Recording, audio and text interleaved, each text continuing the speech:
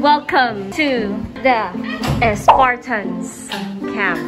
So, ano to, um, continuation ng naon siya minyang um, transformation video. So, today is... Sharing with you our cardio workout.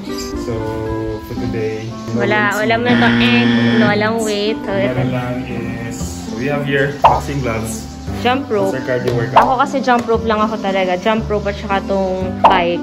Madalang na akong mag-treadmill. So, jump rope, bike. Tapos ikaw, ang cardio niya for today, jump rope Jump din. rope and then... Tsaka yung ayan, Ladder. ladder. And then yung ano, Boxing. boxing. So, ito. Salamat Shopee lang to. Sobrang mura lang nito, guys. Parang 320 pesos ko lang siya nakuha sa Shopee. Tapos, punching bag. So, magde-day 1 ulit kami ng aming ano, road to fitness for 2022. Hindi na natapos ang aming day 1. So, yun lang. Arat!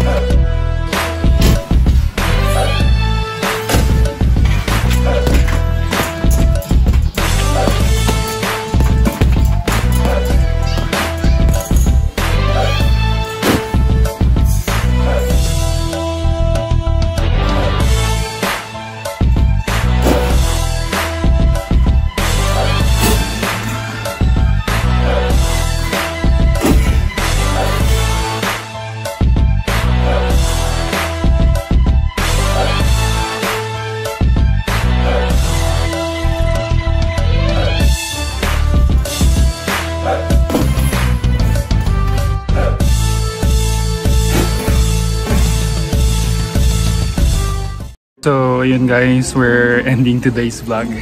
Comeback is difficult. It's hard. so, we'll see kung sasakit yung katawan natin bukas. At kung kaya nating ituloy-tuloy yung workout natin. Yun yung challenge eh. Yung consistency. So, yun lang guys. Peace.